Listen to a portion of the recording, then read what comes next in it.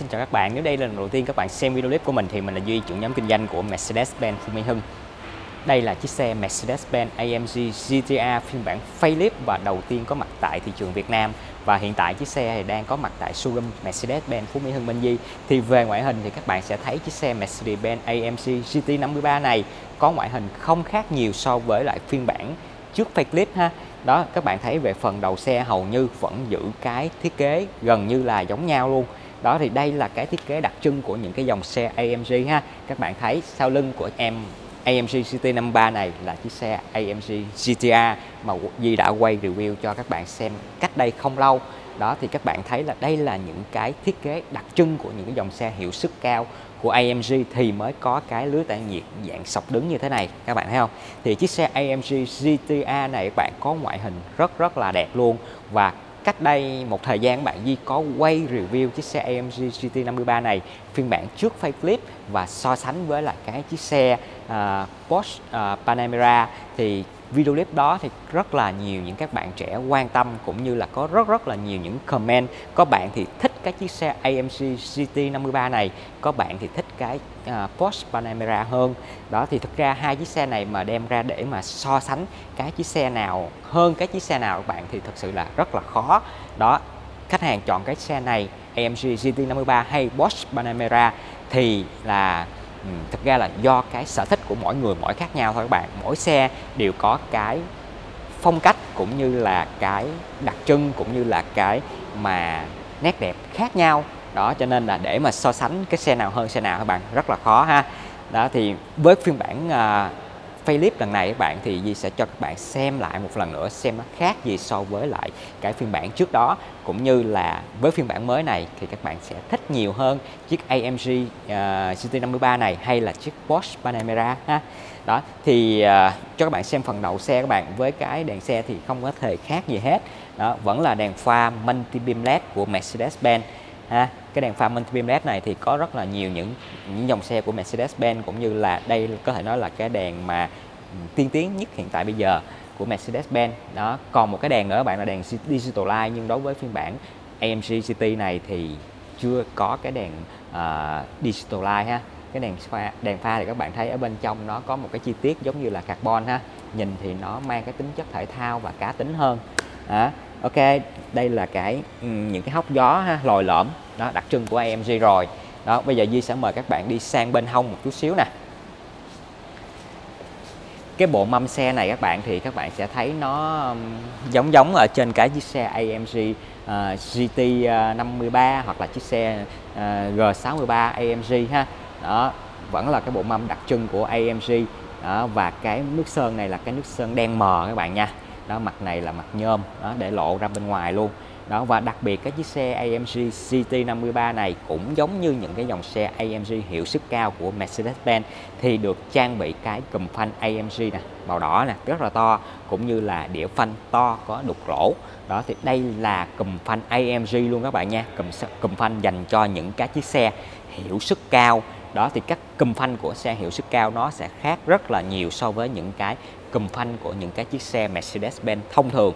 Đó các bạn thấy là khác như thế nào rồi các bạn cũng biết rồi ha.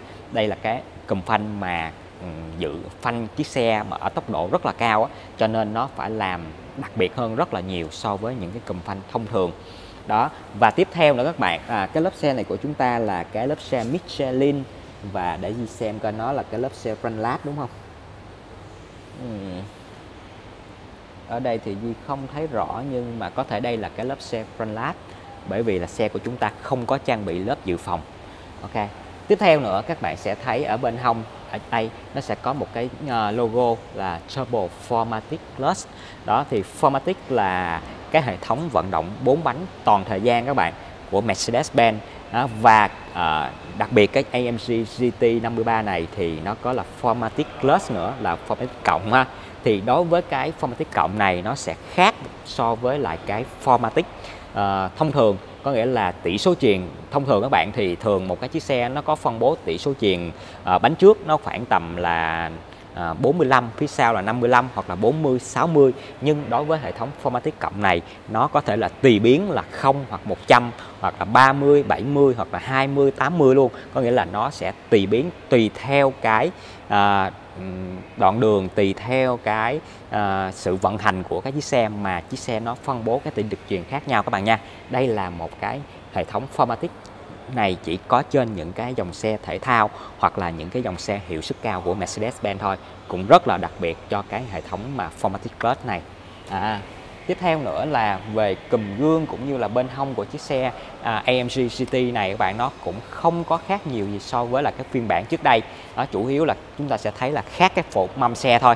Cái mâm xe kia thì nó là những cái cũng là những cái chi tiết mà được nang sơn mờ như thế này nhưng mà những cái chi tiết nang nó nhỏ hơn cũng như là à, nó sẽ khác một chút xíu phần thiết kế ha. Bên hông thì à, các bạn sẽ thấy nó có một cái tem đề can của AMG màu vàng. Thì cái tem này các bạn khách hàng phải trả thêm đâu đó khoảng tầm 1.000 đô cho cái bộ tem AMG này ha. À, cái bộ tem này thì à, chỉ có trên cái phiên bản facelift thôi. Phiên bản trước đó thì chúng ta sẽ không đặt được cái bộ tem này. À ok. Xe của chúng ta thì chắc chắn là những mặc dù đây là một chiếc xe thể thao nhưng um, về mặt tiện nghi thì nó có rất là đầy đủ luôn các bạn nha. Một lát nữa khi mà vào bên trong Di sẽ cho các bạn xem. À, tại sao chiếc xe này nó có tên là AMG GT các bạn?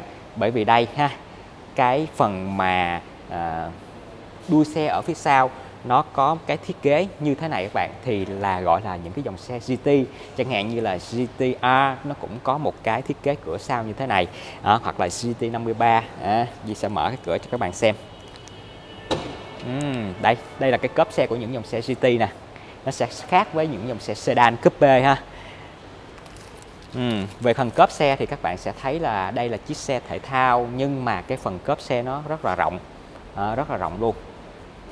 À, thì về phần cốp xe này các bạn à, Duy nghĩ nó hơi bất tiện một chút xíu cũng như là nó hơi khó khăn trong cái việc mà chúng ta à, để đồ ở vào bên trong cốp này. Bởi vì là cái à, khu vực chỗ này các bạn nó sẽ cao rất là cao. À, bởi vì đây là cái chiếc xe AMG đó, cho nên là cái phần này nó được thiết kế cao cho nên là khi mà chúng ta để những cái hành lý mà nặng á chúng ta khiêng lên đó các bạn nó hơi khó khăn một chút xíu bạn. Nhưng mà đồng nghĩa với việc là chiếc xe này nó có một cái thiết kế rất là ấn tượng ở phần cốp sau cũng như là nhìn nó rất là cá tính. À, chi tiết là đẩy lại nó bạn hành lý ha. Ở phía sau này Duy sẽ cho các bạn xem nè. Ở đây nó sẽ có một cái clo nữa ha. Có một cái lo súp ở đây. Thì đối với cái chiếc xe AMG GT à, 53 này thì được trang bị tổng cộng là 15 loa công suất là 710W thì nó sẽ có một cái lo ở đây so với lại cái phiên bản mà facelift ừ, trước facelift bạn thì nó sẽ không có cái lo chỗ này ha.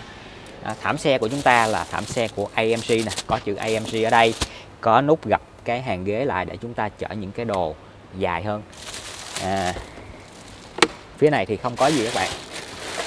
Ở đây là không có gì hết chúng ta chỉ là à, khu vực của những cái hệ thống điện ở phía dưới thôi. À, bây giờ Di sẽ đóng cớp lại. Rất là đẹp. Ở đây thì có một cái cánh lướt gió chỗ này các bạn. Đó cái đuôi cá chỗ này. Chúng ta có thể bật lên hoặc là hạ xuống. À, bô xe của AMG GT53 này thì các bạn thấy là bô kép đối xứng hai bên nè. Có chữ AMG ở chỗ này luôn à, rất là đẹp ha. Một lát nữa gì sẽ cho các bạn xem cái phần mà tiến bô ha. Trước khi đi vào khoang bên trong nội thất các bạn gì cho các bạn xem cái bánh xe ở phía sau nè. Đó, bánh xe phía sau nó tới là 315 luôn cho nên các bạn thấy cái hông lốp cực kỳ to luôn các bạn. Thì những cái chiếc xe mà có cái bánh xe ở phía sau to như thế này các bạn khi mà chúng ta đi từ phía sau á chúng ta nhìn thấy nó rất là đẹp rất là ngầu luôn. Ha bánh xe cực kỳ to rất là sướng thì cái chiếc xe AMG GT53 này được sản xuất tại Đức ha. Ở đây có ghi nè. Cũng như là sản xuất từ nhà máy Sinderfingen đó thì đây là cái nhà máy mà lớn nhất trên thế giới của Mercedes-Benz. Thì à, chỗ này thì lắp ráp những cái chiếc xe sản xuất những cái chiếc xe như là AMG GT nè các bạn. Rồi à, à, xe S-Class nè xe E-Class thì được sản xuất ở đây ha. Những cái dòng xe rất là cao cấp luôn đó và trên này nó có để là cái ngày mà xuất xưởng hay sao nè. Ngày 7 tháng 2 năm 2022 à. chiếc xe AMG GT 53 của chúng ta được trang bị cái phần nội thất. Gì thấy là nó quá là ấn tượng luôn các bạn. Đó, được hai được phối hai màu là màu đen cũng như là màu đỏ nè. Vừa có chi tiết là da bóng cũng như là da lộn nè đó, các bạn thấy không? Rất là đẹp luôn. Ở đây thì có một cái chi tiết ốp nhôm có cái logo của AMG ở đây. Da của chúng ta là da Nappa các bạn nha. Cho nên là khi mà Di ngồi vào cái ghế này thì Di nghĩ nó rất rất là êm ái luôn. Ghế xe của chúng ta thì các bạn thấy là có đục lỗ nè. Đó đồng nghĩa với việc là xe của chúng ta được trang bị là cái tính năng là sửa ghế nè các bạn. Thực ra sửa ghế thì nó sẽ không cần ở Việt Nam đâu. Di nghĩ là sẽ trang bị vào ghế làm mát á, thì nó sẽ tốt hơn phù hợp hơn. À, Vô lăng của chiếc xe AMG GT53 này các bạn là một cái vô lăng AMG thế hệ mới ha. Đó, và đối với phiên bản trước đây thì không được cái trang bị cái vô lăng này. Vô lăng của chúng ta thì vừa có bọc da nắp ba cũng như là da lộn ha, và ở đây nó sẽ có hai cái nấm điều chỉnh nè à. thì cái vô lăng này thì Di đã cho các bạn xem ở trên cái chiếc xe AMG GTA rồi đó chúng ta điều chỉnh những cái tính năng lái của chiếc xe thông qua cái nút bấm ở trên vô lăng cũng được hoặc là ở đây cũng được các bạn nha. À, màn hình của chúng ta là màn hình cảm ứng MBUX thế hệ mới nhất. À, thực ra khi ngồi vào trong cabin của chiếc xe AMG GT53 này các bạn thì vì thấy nó nó không phải là một cái không đơn thuần là nội thất của một chiếc xe uh, thể thao nữa các bạn mà là rất là tiện nghi ở tiện nghi ở đây các bạn thấy là những cái nút bấm được thiết kế nó rất là đẹp nè những cái màn hình à, của những cái tính năng à, khi mà chúng ta điều chỉnh á, thì nó sẽ là hiện cái cái cái trên cái màn hình luôn các bạn chứ không phải là những cái nút bấm cơ thông thường nữa ha. Nó rất là đẹp luôn. Nội thất thì được ốp gỗ màu đen mờ cũng như là có những cái vân màu bạc nè rất là đẹp ha. Những cái hốc gió của chúng ta thì dạng tuabin của động cơ phản lực nữa có đèn nữa. Cho nên là với cái nội thất của chiếc xe AMG GT53 này về đêm thì nó sẽ rất là tuyệt vời. À, và cái trần xe của chiếc xe AMG GT này các bạn thì à, nếu mà được ừ, bọc bằng da lộn nữa thì Di nghĩ nó còn sẽ tuyệt vời hơn rất là nhiều ha. À, cửa sổ trời của chúng ta thì chúng ta kéo bằng tay không phải là cửa sổ trời panoramic. À, cần số của chúng ta thì các bạn thấy cái cần số này nó giống như trên cái uh, xe AMG GTA ha. Khi chúng ta đạp thắng chúng ta gạt xuống nè là sẽ vào số tới nè. Đẩy hẳn lên là số lùi. Đó còn khi mà chúng ta đậu xe thì chúng ta bấm vào cái nút nhỏ xíu là chữ B nè. À, vậy thôi. Khi ngồi vào cái ghế của chiếc xe AMG GT 53 này các bạn thì cái ghế nó không phải là to giống như chiếc xe S nữa mà là cái ghế nó được thiết kế khi mà chúng ta ngồi vào nó ôm vào người ha. Cảm giác nó là một chiếc xe thể thao thực thụ rồi. À, để gì sẽ cho các bạn nghe cái tiếng bô.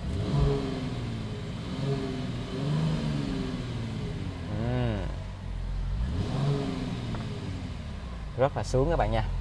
Thực ra là khi mà ngồi vào cái phía sau tay lái của chiếc xe AMG GT53 này thì Duy nghĩ là cực kỳ phấn khích luôn á.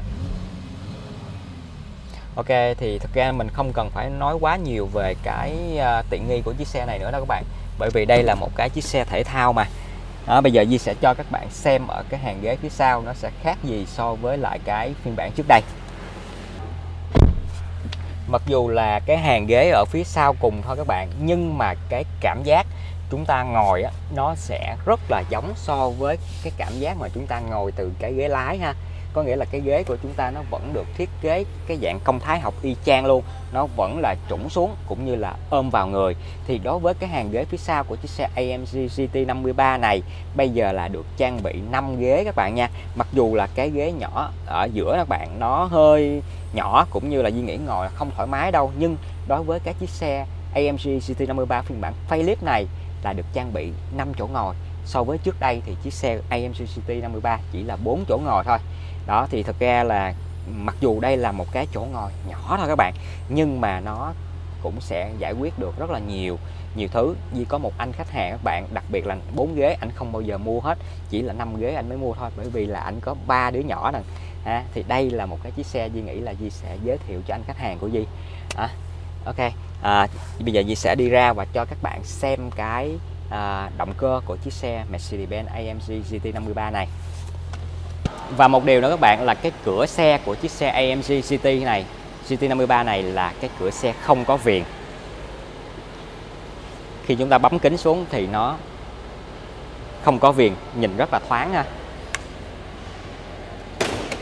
AMG GT 53 của chúng ta sử dụng động cơ i6 3.0 lít à, kết hợp cùng với lại motor điện 48V thì với cái động cơ này các bạn nó sẽ không khác gì so với phiên bản à, trước facelift à, và à, đây là một cái động cơ có thể nói là mới nhất của Mercedes-Benz sử dụng công nghệ là My Hybrid có nghĩa là sử dụng một cái động cơ điện được gắn trên bánh đà của động cơ giúp cho xe của chúng ta tăng tốc mượt mà hơn tiết kiệm nhiên liệu hơn cũng như là khởi động một cách êm ái.